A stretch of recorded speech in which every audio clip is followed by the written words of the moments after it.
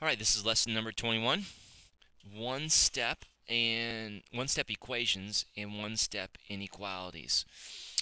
All right, um, today's lesson is going to look a lot like, if you've had algebra before, today's lesson is going to look like the algebra that you've seen. Um, we're going to do a lot of those things. I've got just a couple little things I need to show you, but otherwise, if you've had algebra before, this is probably going to be review. I've got a total of one, 2, 3, 4, 5, 6, 7, 8, 9, 10, 11, 12. I got 12 little small examples. Um, I'm going to basically run through them and then uh, we'll go through it. Um, all right, the big word that we're going to use today is solve. Solve means this. It means I get x on one side and everything else on the other side. Uh, for example, I've got two sides to this equation and the left hand side has an x and a 2 the right hand side has a 3. Anything that's on the x side, the side over here, that's not x, like this 2 here, I need to get rid of it. And here's how you do that. Um, since the 2 and the x are added together, to undo that, I'm going to subtract. And so if I subtract 2, because you know that 2 minus 2 is going to be 0. Well, if I do it to one side, I have to do it to the other side. That's the rule with equations. Whatever you do to one side, you have to do to the other side. And uh, so if I subtract 2 from the left, I have to subtract 2 from the right. Well, this gives me 0. 2 minus 2. So then, technically, you get x plus 0. 3, and then over here, do the same thing. 3 minus 2 is going to be 1. Now, we need to know that x plus 0 is just plain old x. Now, this is our answer. The question is, is why is x equals 1 our answer? Well, it's our answer for a couple reasons. The first reason is that x is isolated. x is over here, and there's nothing else on that side. It's isolated. The other reason is 1 becomes a solution of this equation. And we've done a lot of stuff with solutions, so you should be familiar with that. For example, um, if I, see if I can squeeze this in right here, x plus 2 equals 3. I can plug this 1, we've done this a number of times. See how that comes out to be a solution? It's true. Well, that's why x is the answer. x is the answer because 1 makes this equation true. It's a solution of the equation. Okay, we're just going to run through a bunch of examples. Here's the second one. I've got x over here and negative 5. i got to get rid of the negative 5.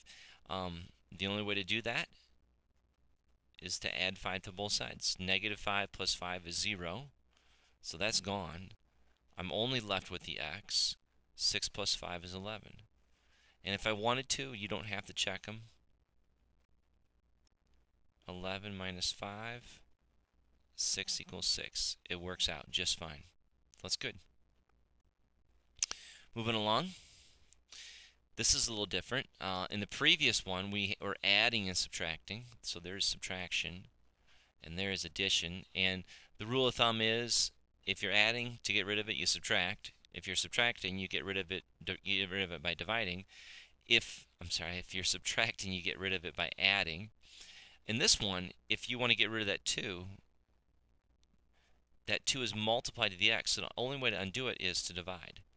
And in this case, it doesn't become 0, it becomes 1. And then 6 divided by 2 is 3.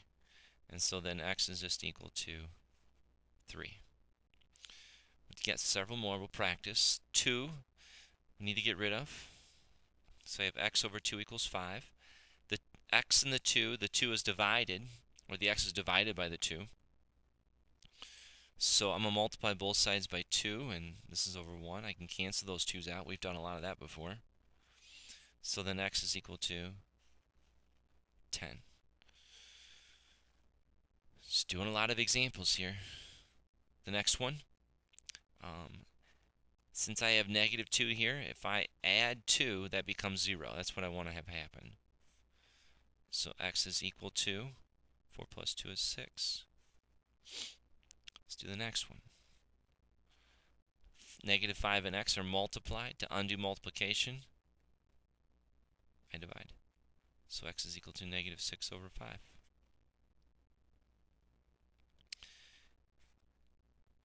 Seven is divided, I'm sorry, x is divided by negative 7. To undo that negative 7, I'm going to multiply both sides by negative 7. The negatives cancel out, the 7s cancel out. So x is equal to negative 28. Okay, this one's a little different. This has got an inequality, and inequalities are you just treat them basically the same. There is one little tweak I'll show you in a bit, but outside of that, they're all the same. So 2 plus x, you're going to subtract the 2. x then is going to be greater than 5. So don't let that freak you out.